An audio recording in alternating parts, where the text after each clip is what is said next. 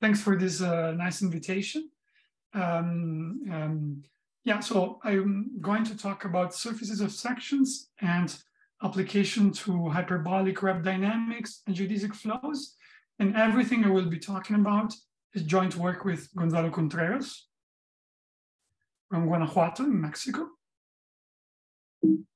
Oh. Ah, okay. So let me start by giving you the, the uh, setting and the definition. Perhaps I want to keep my watch. Sorry, so that I, I have a big idea of the time. So um, let me give you the setting and the basic, basic definitions. So um, I will be working on a close contact three manifold N with its Reeb flow, Reeb vector field X and its Reeb flow phi T. So I wrote here the definition of contact form and the definition of Reeb flow. So a surface of section is a compact surface, sigma in the uh, closed three manifold N, such that its boundary is tangent to the Reeb vector field. So each component of the boundary is a closed orbit of the Reeb vector field. And the interior is transverse to the Reeb vector field X, like in this picture.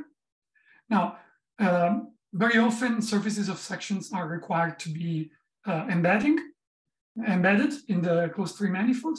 But for me, I will ask a little bit less. I will only require the interior to be embedded in the complement of the boundary, but I'm allowing the boundary to be a multiple cover. Each component of the boundary, I'm allowing it to be a multiple cover uh, of a closed Reeb, or Reeb orbit. Now, uh, more remarkable class of surfaces of sections are the global surfaces of sections, which satisfies satisfy this extra condition in orange. If you take any point on your closed three manifold, Z, and you flow it forward with the flow, with the Reeb flow, for some time, capital T say, you intersect your surface of section at some point. And you can even require, it's not that much more, uh, to have a uniform upper bound on this uh, time capital T needed to meet the surface again, doesn't matter. So these are global surfaces of sections. And now let me give you uh, an intermediate notion in between just the plain surfaces of sections and the global ones. I'm gonna call them almost global surfaces of sections. So these are um, surfaces of sections such that they intersect every orbit of the Reeb flow at least once. However, if you only take half orbits of the Reeb flow, so a point you take the half orbits going outward in the future or in the past, it may be that some half orbits don't intersect uh, the surface of section anymore. And if they do so, it's because they are asymptotic to a connected component of the boundary. And in this case, uh, at least if the Reeb flow is sufficiently generic, this component must be hyperbolic. The reason being that for generic Reeb flow, uh, every orbit is either, every closed orbit is either hyperbolic or elliptic. And if it's elliptic, it's actually irrationally elliptic generically. And when you flow towards, when you converge towards an irrationally elliptic uh, orbit, it's already a bit strange, but if you do it, um, you keep winding around the closed orbits, and by doing so, you keep intersecting sigma. So this limit uh, of uh, non-meeting orbits I'm going to call this, this uh, hyperbolic closed orbits, which are limits of half orbits, um, the, the asymptotic boundary of sigma later on. Right, so these are the basic uh, definitions. I'm going to be, I'm interested in their existence and then in applications of them. So as for the applications, um, let me just say that surfaces of sections are relevant in dynamics because they allow to reduce the study of uh, three-dimensional, say, Reeb dynamics in this case, to the study of surface diffeomorphisms. And you do that by considering the return map. So you have your surface of section sigma, which I draw as a disk. You take a point and you take the map that sends this point to the first point on the interior of sigma that you reach by flowing forward with the flow. Now, if the surface of section is global, um, this map that I just mentioned is uh, fully defined in the interior of sigma. In general, this map is only defined on an open subset because if it's defined in Z, it's defined around Z by transversality. And uh, Poincare recurrence uh, implies that uh, this open set U is non-empty, and indeed it's dense and even of full measure in the interior of sigma. This is because uh, almost every point uh, in your three manifold is recurrent. And uh, second remark, this return map, wherever it's defined, the open set where it's defined, it preserves the area form given by the differential of the contact form restricted to the surface of section, d lambda restricted to sigma. So for the experts, this is uh, even more so. This, this psi is actually an exact symplectomorphism. It has zero flux. And but for this talk, it's only the only relevant thing will be the area preservation, preservation, which is crucial for the applications. Right, so I said, I'm interested in the existence of these objects. So let me give you a bit of history. So first, the notion of surface of section uh, goes back, as many of the notions in, this business, to, to Poincare. Um, in his work on uh, the restricted circular, circular restricted uh, three-body problem. And since Poincare's time, there are, you know, there have been many results on existence and applications of surfaces of sections. Let me just mention three existence results which are particularly relevant for today's talk. The first one is a spectacular result uh, due to Birkhoff in 1970, uh, which says that, uh, which, which so Birkhoff proved the existence of global surfaces of sections for Riemannian geodesic flows of closed surfaces, provided the curvature of the surface as a sign is either everywhere positive or everywhere negative. This is a great result with uh, uh, important applications, for instance, to the uh, existence of closed geodesics on spheres. Well, generalizations, these results have important applications to the existence of closed geodesics on spheres. And then a jump of 60 years I had from 1981, as the year I was born. Um, and um, here's a result of David Fried, a former student of Smale, proved the existence of global surfaces of sections for uh, transitive anosov flows. They don't even need to be uh, Reeb flows, just anosov flows in dimension three that are transitive. They mean they have a, a dense orbit.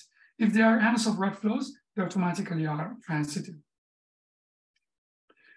So, and finally, last result, which is one of the most famous results in symplectic dynamics, due to Hofer Wysocki-Zehnder, is the existence from 2003, but it's actually an extension of an earlier result from uh, 1998.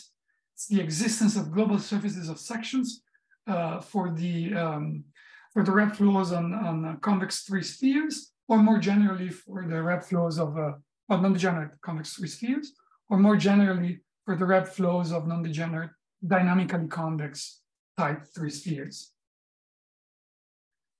Right, so now I want to state my results, but in order to do that, I need to introduce a little bit of terminology, um, which is more or less a classical terminology. So um, a Reeb vector field on a closed three manifold, or actually on any closed manifold, in higher dimension, would be the same. It's called Kupka-Smale when it satisfies the following two conditions. So usually in general dynamics, not just symplectic, uh, the first condition in Kupka-Smale requires all the closed orbits uh, to be hyperbolic. But if you only restrict yourself to Reeb dynamics, uh, the fact that all closed orbits are hyperbolic is not a generic property. Elliptic orbits, if they're non-degenerate, they survive under perturbation. And we would like this condition to be generic. So uh, usually in symplectic dynamics, Kupka-Smale means something weaker, which is, so first condition is all the closed orbits are non-degenerate, but possibly elliptic. And the second condition is the so-called Kupka-Smale transversality condition that says that for every pair of hyperbolic closed Reeb orbits, orbits, gamma and zeta, possibly equal, uh, if they exist, uh, the stable manifold of gamma intersects transversely the unstable manifold of zeta. Namely, the intersection could be empty, but if it's not empty, it's still transverse.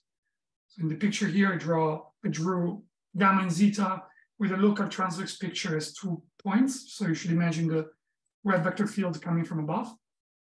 And uh, stable manifolds are black, unstable manifolds are, are orange, and the intersection points are these gray points. And you see that they're all transverse. And these are the heteroclinics. So this point, for instance, if you flow it backwards, you converge to gamma. If you flow forward, you converge to zero. I already anticipated the, the Kupka-Smale condition is generic. Namely, it holds for the Reeb vector field of a infinity generic uh, contact form on a closed three manifold. So this is a classical result due to Robinson from the 1970s, I would say. And actually Robinson was proving harder genericity results that hold for, um, um, for Hamiltonian systems on symplectic manifolds, but considering all energy levels at once. And there, there are more subtleties, but in particular, Robinson results uh, imply this. And if you are interested in geodesic, uh, geodesic flows or geodesic vector fields, which are my favorite class of, uh, of Reeb flows, um, the, you still have the genericity within the class. So the Kupka-Smale condition holds for the geodesic vector field of a C-infinity generic Riemannian metric on a closed surface, and also in higher dimensions. And this was proved by Contreras, my collaborator, uh, together with Paternain, Gabriel Paternain, in the early years 2000s, I believe. Right, so, so this is uh, the definition that I need for the theorem. And the theorem says that for this class of Reeb dynamic of Reeb vector fields on closed three manifolds, Kupka-Smale class, uh, there are always global surfaces of sections. And therefore, due to the genericity of the Kupka-Smale condition, global surfaces of sections exist generically. So they exist for the Reeb vector field of a C-infinity generic contact form on a closed three manifold, and also more specifically uh, for the geodesic vector field of a C-infinity generic Riemannian metric on a closed surface.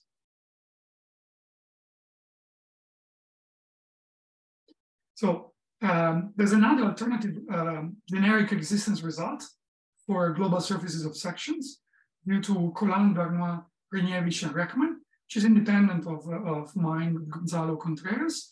And uh, the result is also slightly different. Both have the same corollary, the generic existence. The result says that uh, any non-degenerate Reeb vector field in a closed three manifold admits a global surface of section, provided it has lots of closed orbits. So we know that it always has at least two closed orbits.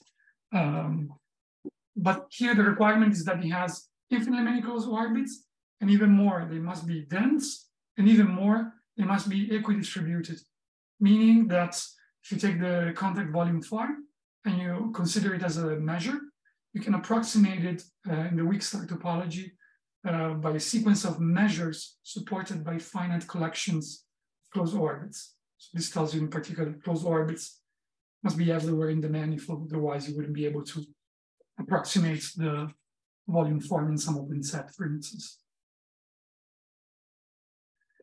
All right, so this is um, the result. So stop me if you have questions, please. Sorry, can I ask a question? So can you very briefly compare with this Giroux open book uh, result? Ah, yeah, yeah. So uh, Giroux open book result doesn't fix the contact form. It fixes the contact distribution. So it's, it's a completely different, uh, different result, right? So here, so Giroux tells you, right? Giroux tells you that the contact distribution is supported by, uh, forgot the terminology, but supported by uh, um, uh, by an open book decomposition.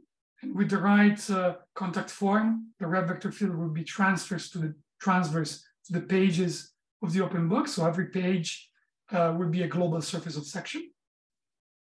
But but uh, here we are we have a given Reeb vector field.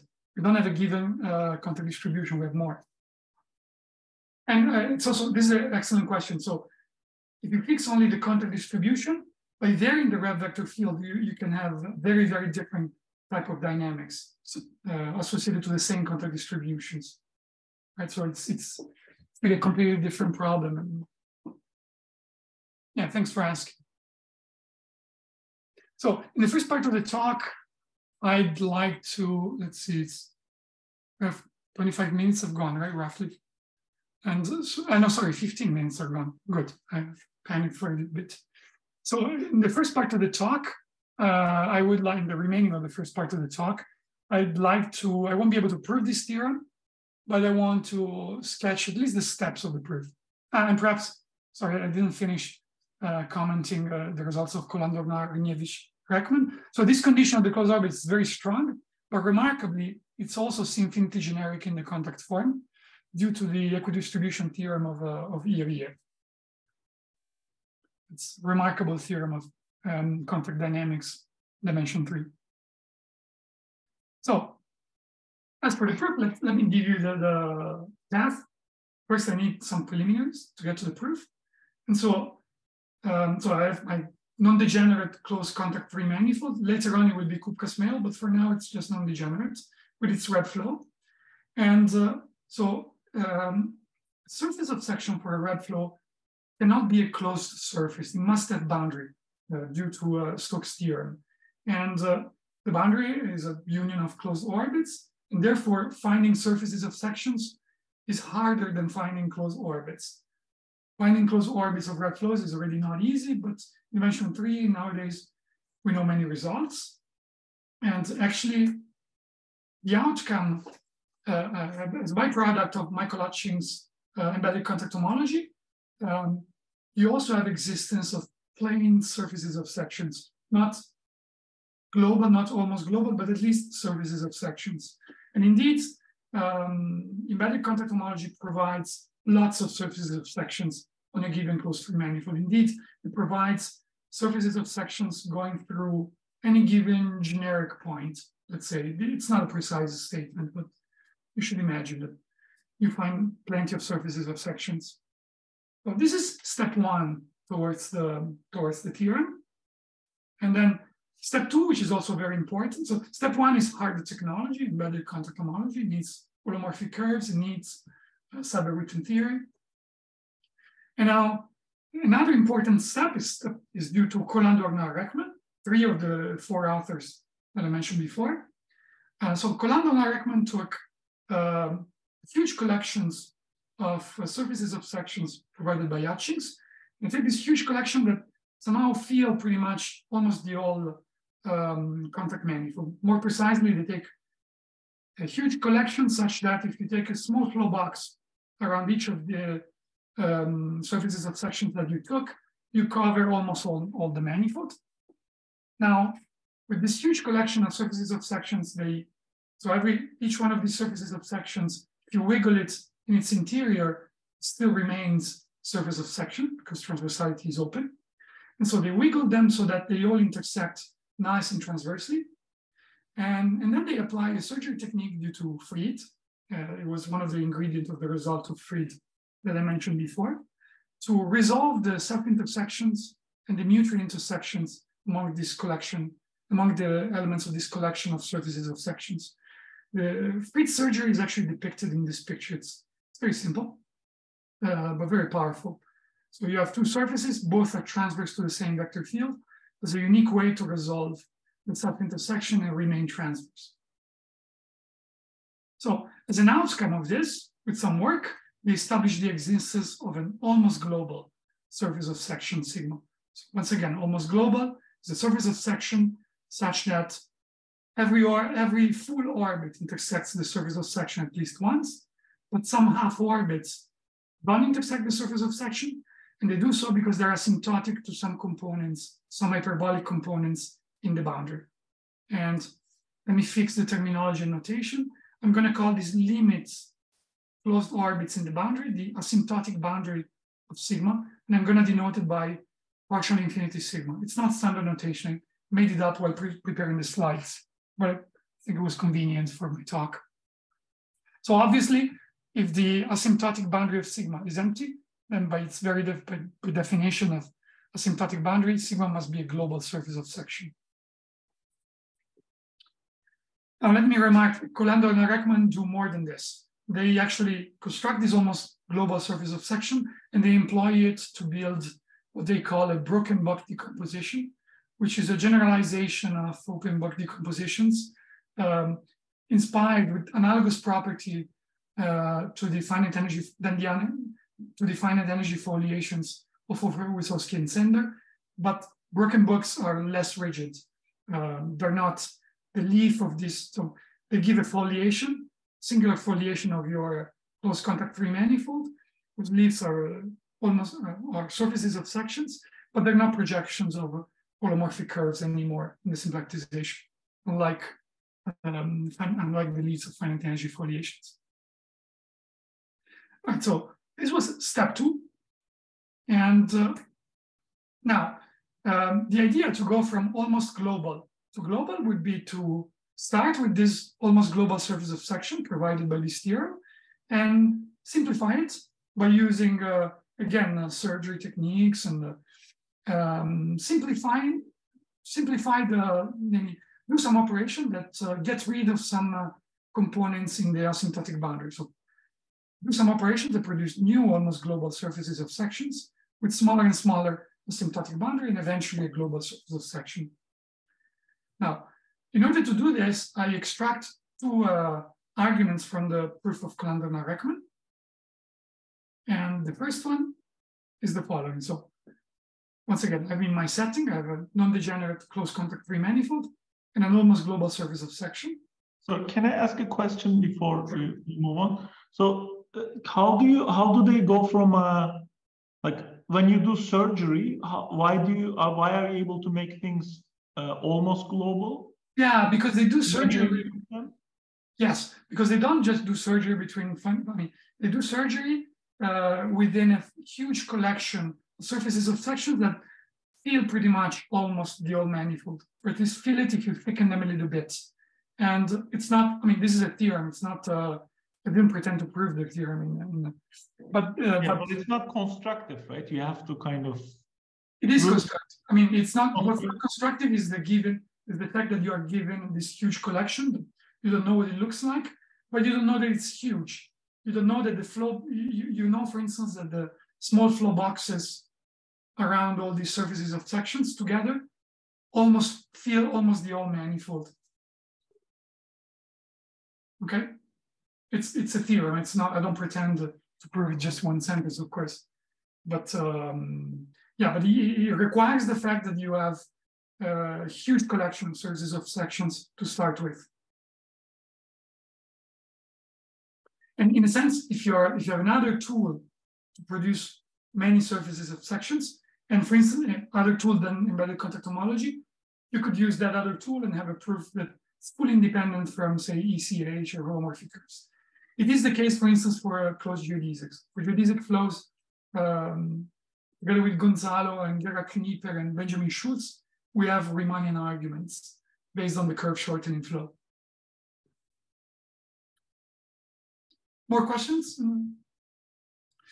Okay, so um, let's see, how do we go with time? So, um, yeah, so First step to go from almost global to global is an argument, is this argument that extract? from what I just explained, actually from Colin-Dehornoy-Rechtman.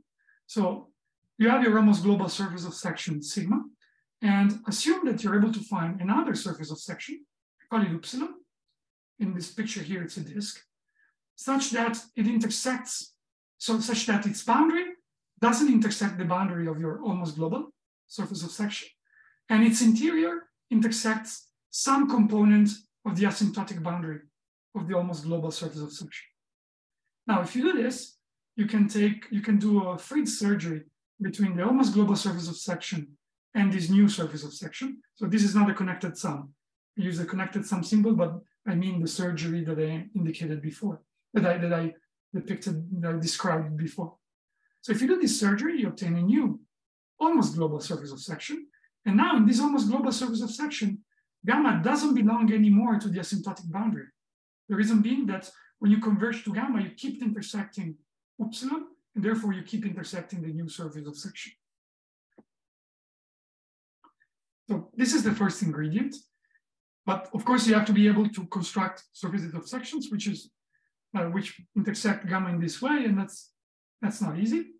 But one way to do it is again uh, uh, by, by one way to do it would be to reduce the problem to the uh, to the um, to an existence problem for homoclinics by using these arguments, which was employed by Colin-Dehornoy-Rechtman for their results, but it's actually an, an, argument originally due to Fried that was employed to um, to prove uh, its existence result for animals of three-dimensional flows that I mentioned before. So the argument says that assume you have a component of this asymptotic boundary of your almost global surface of section that has plenty of homoclinics. So in particular, he has, more precisely, he has, uh, well, he has transverse homoclinics in all separatrices.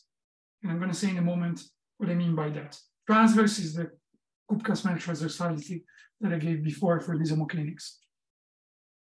Well, so if you have a closed orbit, uh, if you have a component of the asymptotic boundary with uh, transverse homoclinics in all separatrices, then you're also able to find the surface of section. You're able to construct by hands pretty much a surface of section epsilon satisfying the requirement of the previous lemma. The boundary of epsilon doesn't intersect the boundary of sigma, and the interior of epsilon intersects um, this given component gamma. And the argument is beautiful. It's and and uh, and uh, it's actually the proof is, is is one picture. So first, let me specify what I mean by this condition because it's important also for my result. So I'm drawing here the, um, the, the, situation in a, in a local transverse picture. So my closed orbit gamma it as a point with the vector field coming from above. And I'm drawing in black the stable manifold and in gray the unstable manifold of gamma. I remind you, gamma is hyperbolic. All these orbits are hyperbolic.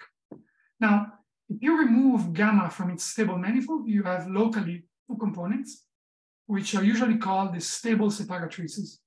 Analogously, from, you remove gamma from the unstable manifold, locally you have two components, which are called the unstable separatrices. Now, this condition, the, the lemma requires every uh, stable and unstable separatrix to contain a homoclinic, an intersection between unstable and stable manifold. So homoclinic, this point here, is a point that flown backwards converges to gamma and, flow, and, and same is if we flow it forward in time. Now, if you have transverse homoclinics in all separatrices, um, you actually find a suitable horseshoe nearby, and you can do um, symbolic dynamics and detect close by to your original closed orbit gamma another closed orbits intersecting this local transverse surface in the northeast sector. You find another closed orbit close to gamma, uh, but uh, southwest of gamma. And then you find a third closed orbit uh, coming northwest and coming back again southeast, and then coming back again at the original point northwest. So in dimension three, the picture is this. And by hand, you can actually build a surface of section, which is actually a pair of pens. And I claim that if you stare at this picture long enough, you figure out how it goes. You you you you fill you join the dots here. You have a square that's transverse to the vector field, and then you flow the boundary of this square with the flow, and you perturb it a little bit. You tilt it a little bit to have transversality.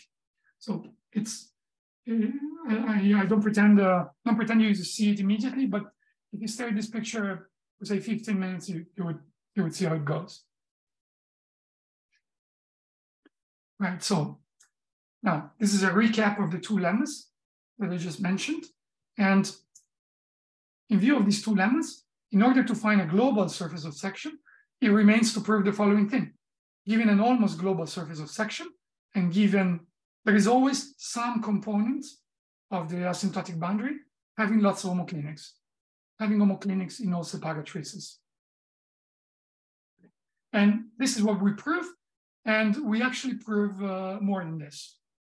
So let's see. So what we prove is the following.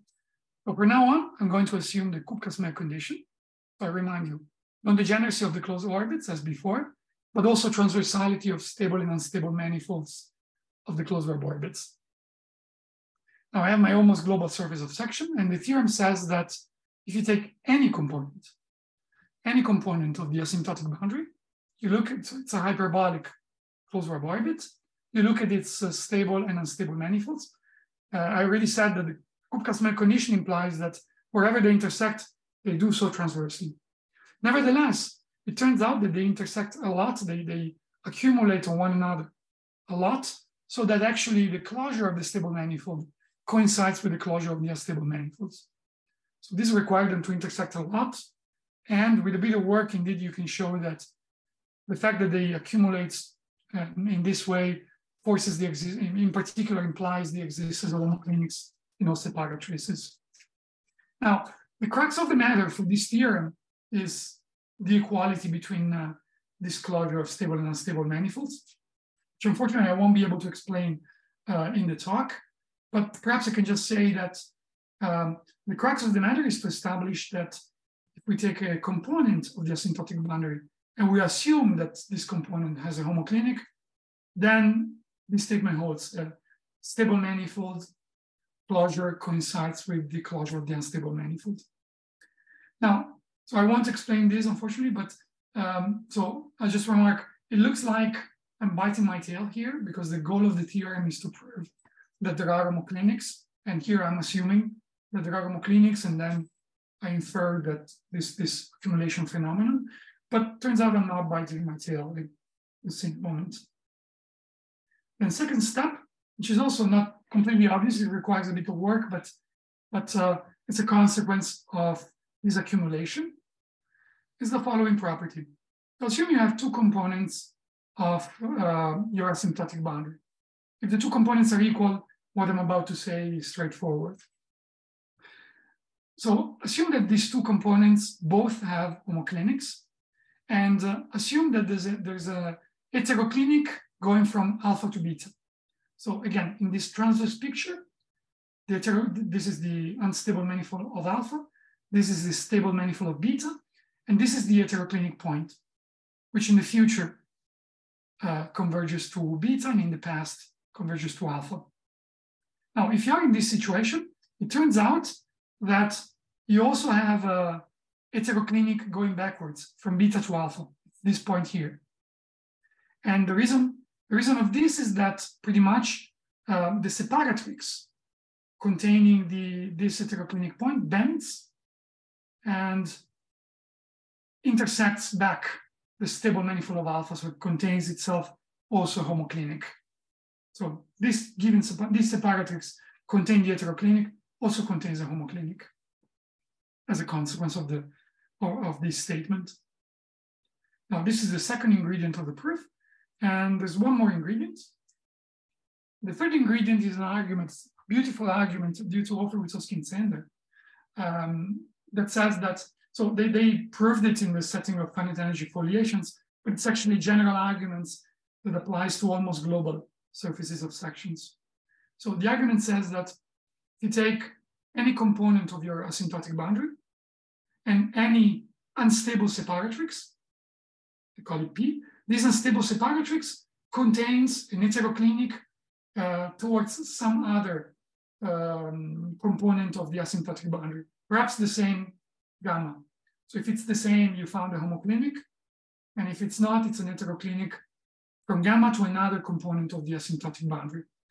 And so I stated this for the outgoing heteroclinics, but of course you have the same also for the incoming heteroclinic.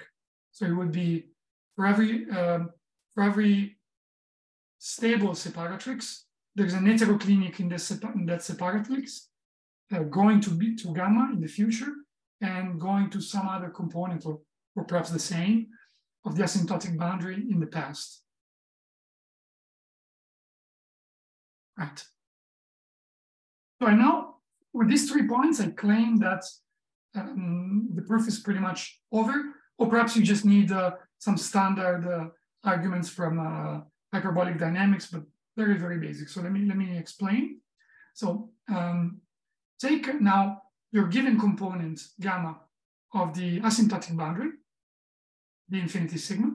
And I'm going to consider, thanks to this uh, argument of Hofer-Wysocki-Zehnder, heteroclinic sequences.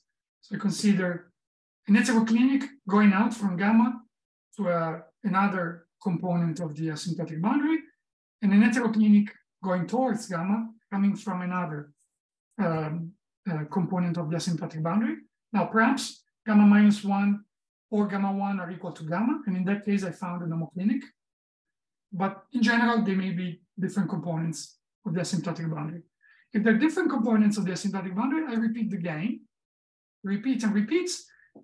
Since the asymptotic boundary contains only finitely many components, because it's the boundary of a compact manifold, after a while, uh, this heteroclinic sequence must have the same orbit appearing twice in the future, say beta, and the same orbit appearing twice in the past.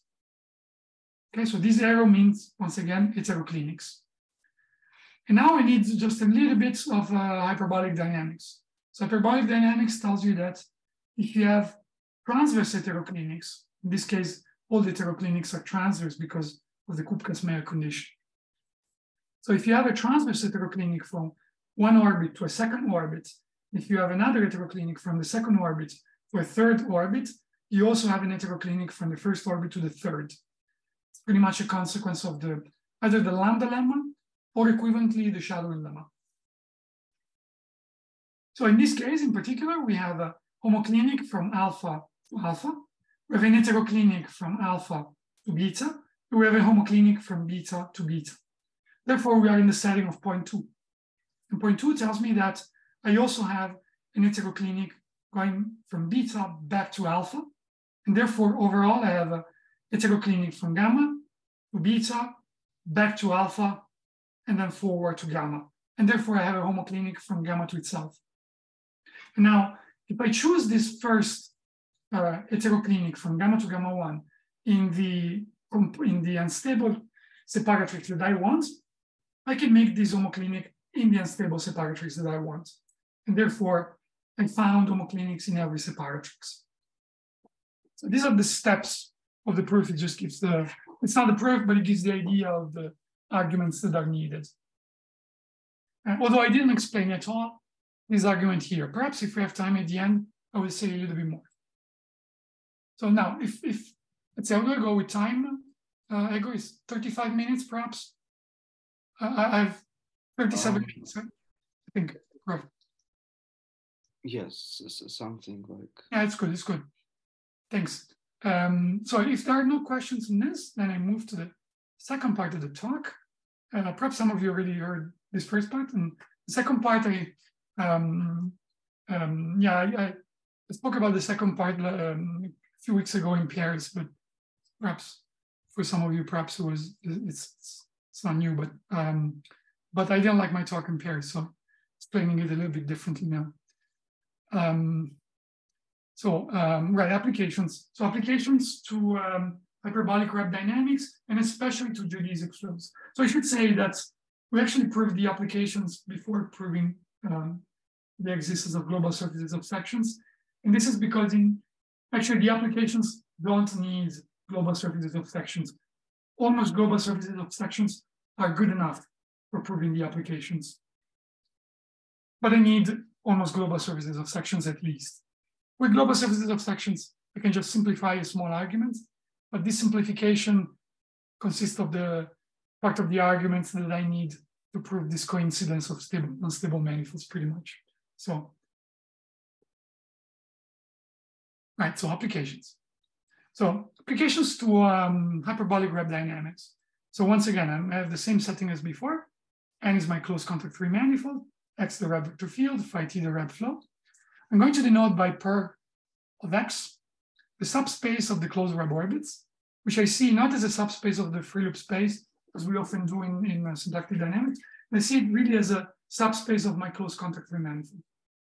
It's not necessarily closed. It's... So a consequence of the existence of uh, global surfaces of sections, or at least almost global surfaces of sections, is the following theorem that characterizes Anosov Reeb flows. Or perhaps I should say, a Reeb flow is Anosov when it's uh, hyperbolic in the sense of dynamics. So the dynamics around every point, you have uh, uh, you have directions in which if you so you have nearby points that gets contracted. That, that, so if you take a point z, nearby points Z prime that in the future converge to the orbit of Z, and there are nearby points that converged in the past. And this gives you a, a classical hyperbolic pictures in which you have a decomposition of your tangent bundle in stable subbundle and unstable subbundle. Everything's very, very classical. So uh, uh, Reeb flow is called Anosov uh, when the all three manifold is hyperbolic for the flow. So the theorem is a characterization of Anosov uh, Reeb flows that says that um, a Reeb flow is Anosov provided all the closed orbits are hyperbolic and a bit more uniformly hyperbolic. Namely, I want the closure of the space of periodic orbits, which is now a complex subset of my manifold, to be uh, hyperbolic. Uh, and, and then I want the Kupka-Smale condition, the transversality between stable and unstable manifolds. If these two conditions are satisfied, then the flow is Anosov. So for instance, if I have Kupka-Smale transversality, which I have generically, and uh, if I have only finite many closed orbits, which are all hyperbolic, then the flow must be Anosov. And that gives me that the situation is impossible because an Anosov flow has dense periodic orbits. This is an example of use this theorem. But um, so I would say the theorem is perhaps an interest per se, but for us, the interest was in, in, uh, its applications to geodesic flows, which I'm going to mention uh, now. So let me apply this theorem in turn to geodesic flows. So I consider a Riemannian surface closed, MG. And from now on, my closed free manifold, N, will be the unit tangent bundle of my closed Riemannian surface, Sn, set of tangent vectors uh, of norm equal to one. Now, each unit tangent bundle, the unit tangent bundle carries a canonical contact form, canonically defined by the Riemannian metric. And the associated Reeb flow is the so-called geodesic flow, it's called like this because the orbits gamma of t are of the form x dot of t, so derivative of x, where x is a geodesic in the Riemannian surface that moves with speed one. So the closed geodesics of a closed Riemannian manifold, namely periodic geodesics, are the projections of the periodic orbits of the geodesic flow. And from now on, with, with a small abuse of, of terminology, I would call geodesics directly the orbit of the geodesic flow. There's no confusion, I think. I'm also interested in elliptic closed geodesics, which are elliptic closed orbits of the geodesic flows. Uh, um, so a, uh, uh, closed orbit is elliptic when its K multipliers are in the unit circle. And topologically, what happens is what I already mentioned before if uh, you have a periodic orbit gamma that's elliptic, the nearby orbits wind around gamma. So they don't have to stay close to gamma for infinite time. Uh, they, perhaps they wind around a little bit and then they escape far away in the manifold. Um, but sometimes they do if you have a stable elliptic orbit, for instance. Right, so this is terminology, now the statements. So actually all this business started with this uh, beautiful theorem of Contreras and Oliveira from 2004, which was back in the time an, an application of the finite energy foliations of Hofer-Wysocki-Zehnder that were introduced a bit before this theorem that proved that uh, a C2 generic Riemannian metric on a two sphere, on two has an elliptic closed geodesic. And our initial goal was to extend this theorem closed surfaces of arbitrary genus, possibly also non-orientable as well. And of course, the theorem, as it's stated, cannot hold uh, for arbitrary closed surfaces because you have, for instance, negatively curved closed, uh, closed surfaces. If you have a closed Riemannian surface of negative curvature, all the closed geodesics are hyperbolic. And if you perturb the metric in the C2 topology, you, you obtain a new metric which is still negatively curved and therefore still all the geodesics are hyperbolic.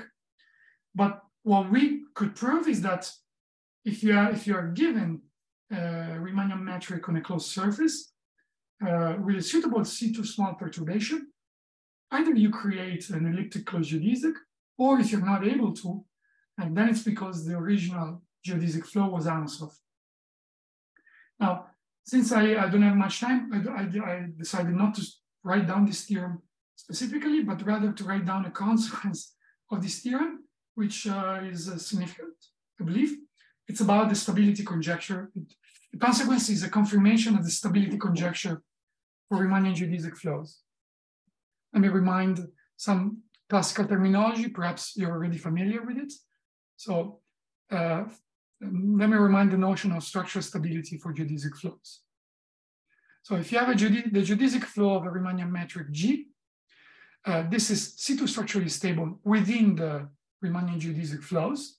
If for any Riemannian metric G prime C2 close to G, there's a homeomorphism of the unit tangent bundle, mapping closed orbit of the original geodesic flow to the closed, no, sorry, mapping orbits, not closed, orbits, or open and closed, mapping orbits of the original geodesic flows to the orbits of the new geodesic flow of G prime. Okay, so this is so this homeomorphism doesn't need to be smooth, doesn't need to be a diffeo. It doesn't need to preserve a parameterization. So this is the weakest uh, um, identification among dynamical systems possible. Now, um, the of characterization that I given in the previous slide implies um, the confirmation of a version of Palis and Smale's stability conjecture for Riemannian geodesic flow flows. So the original conjecture was for general flows and it was established by Mañé in the 1980s.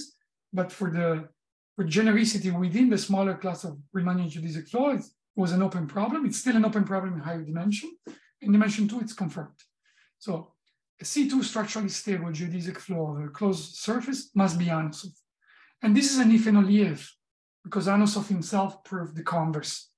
An Anosov, an Anosov flow is C2 structurally stable within the class of flows.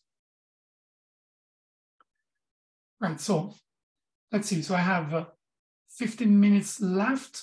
And in the remaining time, I would like to explain the proof of the theorem in the previous slides, uh, the Anosov characterization of, um, so the, the, characterization of Anosov Reeb flows.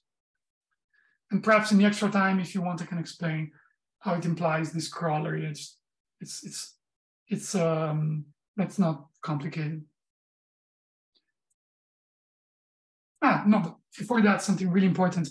So for um, so this theorem, if you if instead of working in the class of geodesic flows, you work in the class of Finsler geodesics. Instead of working in the class of Riemannian geodesic flows, as I've been doing so far. So here I didn't write it anymore, but every time I write geodesic flow, I mean Riemannian. If instead you work within the larger class of Finsler geodesic flows, this theorem was famously proved by Newhouse in the 1970s, I believe. And uh, so now you may wonder, it's, Riemannian geodesic flows are a particular case of Finsler geodesic flows. Nevertheless, being generic within the class of um, geodesic flow is a much uh, stronger genericity um, than being, so something that is generic within uh, Riemannian geodesic flow is not necessarily generic within Finsler geodesic flows. So let me mention Newhouse theorem is, uh, is an application, highly sophisticated application uh, of the closing lemma for Finsler geodesic flows, or more generally, Finsler Hamiltonian systems. And for Riemannian geodesic flows, the closing lemma is a, a long-standing open problem. So it's known in the C1 topology on the Riemannian metric, which is the which gives the C0 closing lemma in the geodesic flow. You know, C0 closing lemma looks very weak because if you have an orbit that almost closes up, perturb C0 the flow, you close it up. But here it's already hard because you want to perturb C0 the flow within the class of Riemannian geodesic flow. So this is possible. It's a theorem of uh, Rifford, but it's still very weak because it's in the, this C0 topology. If you want the C1 topology on the flow, Therefore, the C2 topology and the geodesic flow it's completely open. So our um, Anosov characterization is a way to avoid um, the, the closing lemma. So let me state, uh, let me, let me, so in the remaining time, 10 minutes, I, I believe, uh, let me sketch the proof of the Anosov characterization. So here's the theorem again. It's the same that I mentioned before. Let me read it again. So we have a closed contact free manifold. Uh, its closed orbits are uniformly hyperbolic up to their closure. and the Kupka-Smale transversality holds. Stable and unstable manifolds of, uh, of the closed Reeb orbits are transverse. Then the Reeb flow must be Anosov. The steps of the proof are, so the proof requires both some requires both uh, contact geometry, almost global, uh, actually global surfaces of sections in the way I'm explaining it. Uh, it requires a bit of surface dynamics and it requires a bit of uh, hyperbolic dynamics. So first point of the proof is that under the first condition, if all periodic orbits are hyperbolic, which is uh, in particular what I'm assuming, then there must be infinitely many closed orbits. So if you're only interested in geodesic flows, uh, the existence of infinitely many periodic orbits for geodesic flows of closed surfaces holds unconditionally. Uh, for surfaces of genus at least one, it's, uh, it's easy. And for the two-sphere, it's, it's a very difficult theorem due to a combination of results of Victor Bangert, uh, Nancy Hingston, or John Franks, and John Franks.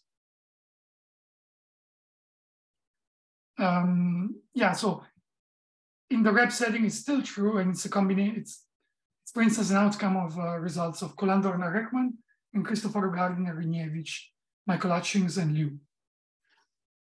So I have infinitely many closed Reeb orbits. And now I apply first bit of uh, hyperbolic dynamics. So I said the closure of the space of periodic orbits is a hyperbolic set. And uh, there's a theorem for hyperbolic dynamics, one of the foundational theorems, that gives a so-called spectral decomposition. It says that the, uh, a hyperbolic set, uh, this is local maximum, uh, it, it's, it decomposes as a, a finite union of basic sets. So uh, a basic set is a compact invariant subset that's uh, hyperbolic. It's uh, locally maximal, namely, if you take uh, for each of these lambda i, if you take a sufficiently small neighborhood of it, then lambda i is the largest invariant set contained, contained in neighborhood. This is one way to say it. Uh, and uh, and so basic set is uh, compact, locally maximal. It contains a dense orbit, so the dynamic is transitive. And uh, it could be, a, and it contains a dense subset of periodic orbits. So each of these basic sets, lambda i, may be, for instance, uh, a single closed orbit, hyperbolic closed orbit. Uh, however, as soon as you have in a basic set two closed orbits, then since you also have a dense orbit, you have actually infinitely many closed orbits inside. And every closed orbit is accumulated by closed orbits. Yes, it's one of the features of hyperbolic dynamics. So I have infinitely many closed orbits and I have a decomposition in finitely many basic sets. Um, therefore, one of these basic sets, which I'm going to call lambda, at least one, must contain infinitely many closed Reeb orbits. Now, this is a in particular in a hyperbolic set, my goal is to show you that uh, lambda is the old closed contact free manifold. And then the old closed contact free manifold is a hyperbolic set. That's precisely what Anosov means. So let's assume the manifold is not Anosov, and therefore lambda is not the old free manifold N. So lambda is contained in N, but it's different from N by contradiction. And now I need another ingredient from hyperbolic dynamic dynamics that's due to uh, Bowen and Ruelle. So uh, Bowen and Ruelle says that if you have a, in this setting, that the statement is stated in a slightly different setting, but in this setting, it would, it would uh, imply that if you have a basic set that's not the old three manifold, it must be a negligible set in your manifold. It must be a zero, measure zero subset of your closed three manifold. Um, this is pretty much because if lambda is positive, if lambda is positive uh, measure, then the stable manifold lambda is positive measure because it contains lambda. And Bowen and Ruelle shows that when the stable manifold is positive dimension, uh, the, the, um, the point is actually an attractor, meaning that uh, he has nearby points that are attracted to it. But also the unstable manifold is positive dimension. By applying the same reasoning, um, the unstable manifold is positive dimension, and therefore the point is a repeller. So the, the, the, the set lambda is, is also a repeller. So you have an invariant subset that's both a repeller and, and an attractor. And uh, your manifold is connected. This lambda must be the old manifold. Very quickly, but, but uh, this is how it goes. So lambda measure zero because it's not the old manifold.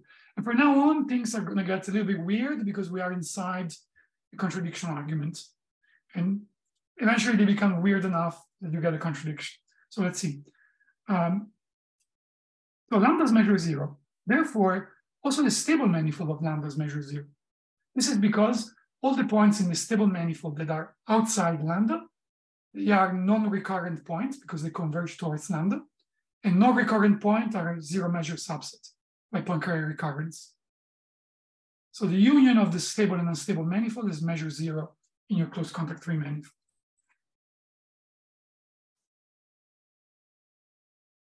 And so next, this is a little bit technical. Perhaps let me go, let me maybe not spend too much time on this.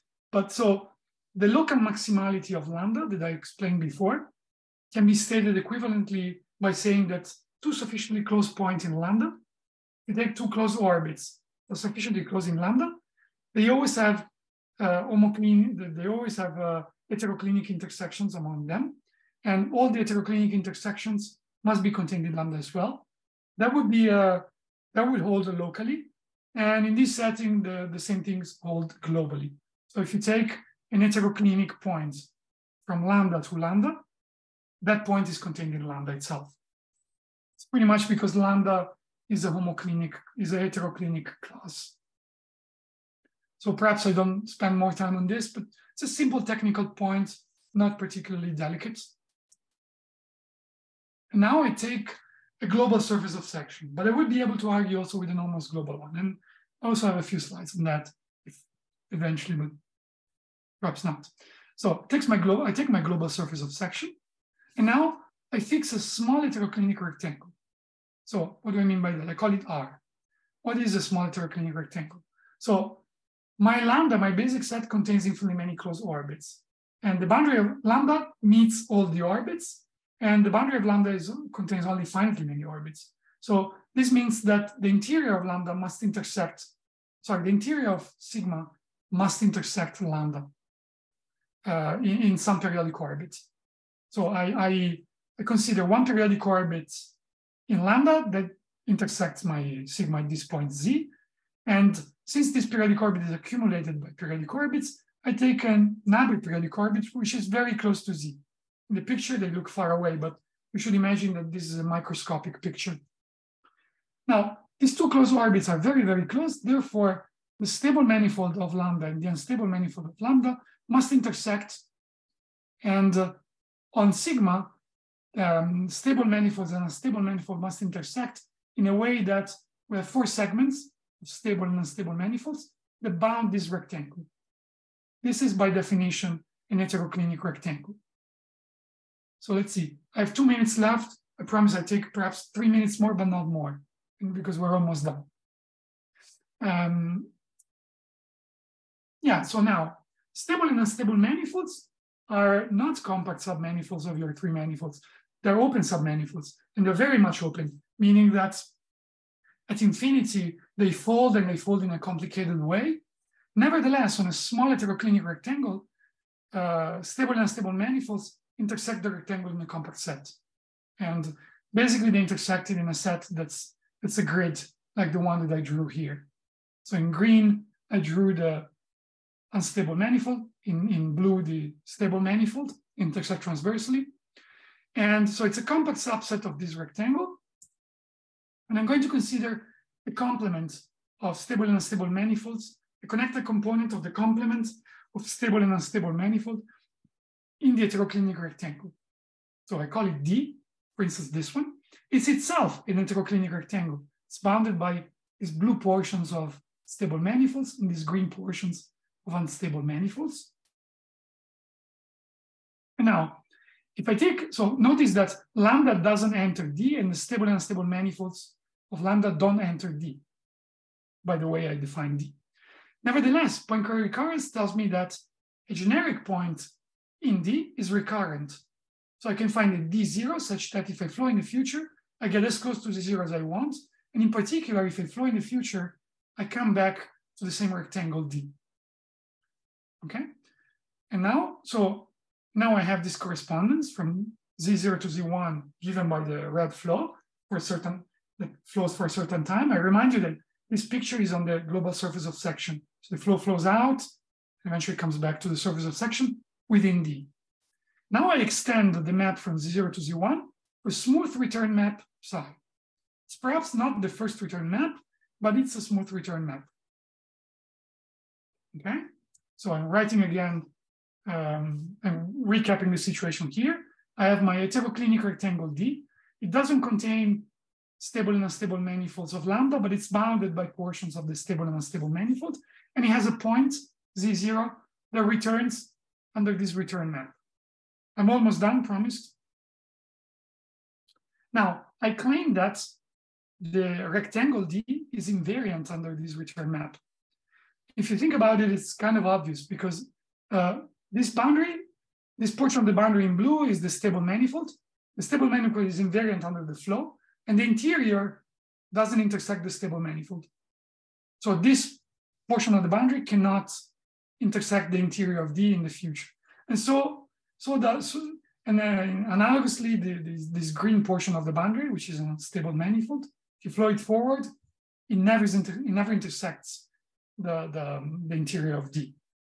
But the only way you, you know, this can be realized is, is by, by having D preserved by psi. Already things look weird here, and indeed, we, we immediately get a contradiction. Now we have a, a homeomorphism of an open disk that preserves the area form d lambda, the area, the, the, the, differential of the contact form restricted to D. Now, it's a, the closure of D is compact, so the area of D is finite. So you can apply Brouwer translation theorem that tells you that any area preserving map of an open disk finite area must have fixed points. So you found a fixed point of this return map, some z prime that goes back to z prime. That that's a uh, fixed point corresponds to a closed Reeb orbit that is close to the Reeb orbits that you have at the vertices of this heteroclinic rectangle. But therefore, since the, the, the, the orbits in the vertices are in the uh, basic set lambda, which is uh, locally maximum, the new periodic orbit that you found must be in lambda as well, which is a contradiction because it intersects the interior of D and D doesn't intersect lambda. So it was perhaps a little bit fast, but that's the old proof. And uh, I think I can stop stop here because I'm a bit over time. Sorry about that. Uh, th thank you very much, Marco. Uh,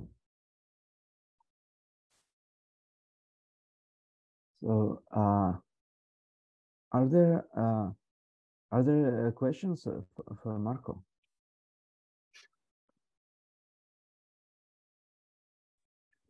Um, maybe I, I have a, a quick question.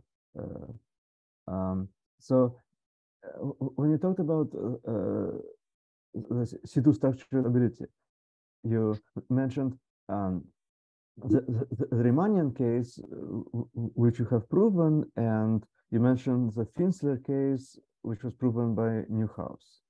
Yes. And my question would be like, uh, so where does symmetric Finsler uh, ah, yes. I don't think it's so. Yeah, actually, Knieper asked me the same question. Yeah, thanks for asking. So um, we looked in the literature with uh, Gerhard Knieper, and um, so the, the, the closing lemma for symmetric Finsler geodesic flows is so it's perhaps similar to the closing lemma of Finsler geodesic flows, but it's it's not written down in the literature. I would guess that it's similar because where Finsler metric being symmetric is not too much to ask. But uh, the, the closing lemma for Finsler geodesic flow is, difficult. And uh, I cannot tell just by looking at the proof whether it goes through, if you require all the time that your Finsler uh, metric is reversible and you only allow perturbation that keep the reversibility. I don't know. It's, uh, I mean, it's, it's at least not written down. I would say it's open. mhm, I see, I see, I see. Uh, uh, but, but, but then from, from, from your method, it, uh, it follows, uh, yeah, from my method doesn't need uh, this my method, which is based on techniques of Contreras and Oliveira, this this theorem that I explained, are based on the techniques needed to prove this theorem. Um, Yeah, that doesn't require the closing lemma law, but but it requires the surfaces of sections. Oh, by the way, I should say Newhouse is in any dimension.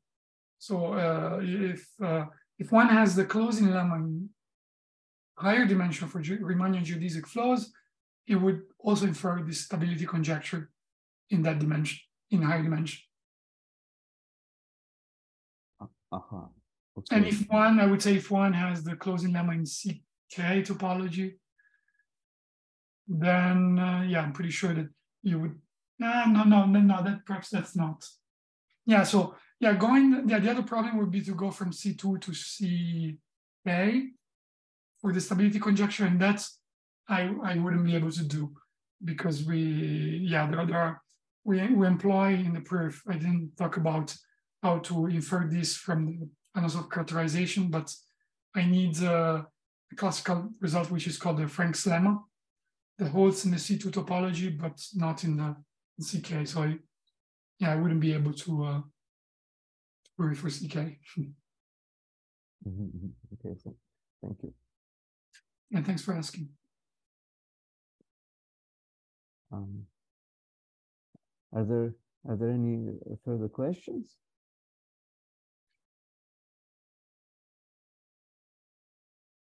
Um, So if there are no, uh, no further questions, I, I propose that we uh, thank Marco for his beautiful talk. Thanks a lot.